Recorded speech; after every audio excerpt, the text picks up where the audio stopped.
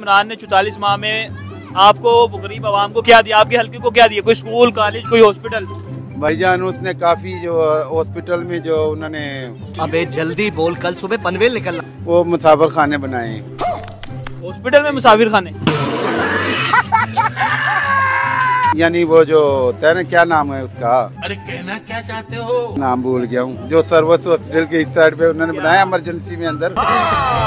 झूठ बोल रहा है। नौजवानों को क्या दिया? हाँ जी। नौजवानों को क्या दिया? हमको मारो हमको ज़िंदा मत छोड़ो सालो। भाई उसको टाइम मिलेगा तो चौतालीस माह मिले चौतालीस माह अभी अभी कुछ टाइम अभी उसने कुछ करना था वो उसका टाइम ही उन्होंने खत्म कर दिया। इतने तेजस्वी लोग हैं हमारे पास। पच्चीस अरब रुपए की करप्शन की ने इतना कुछ कर दिया और कह रहे हो?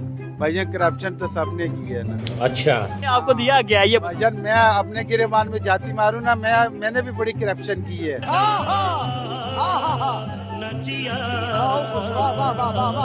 मैं किसी पे क्यों उंगल रखू? मैं पागल हूँ मैं पागल हूँ। ठीक हो गया। मैं अपने अंदर देखूँगा फिर मेहरबानी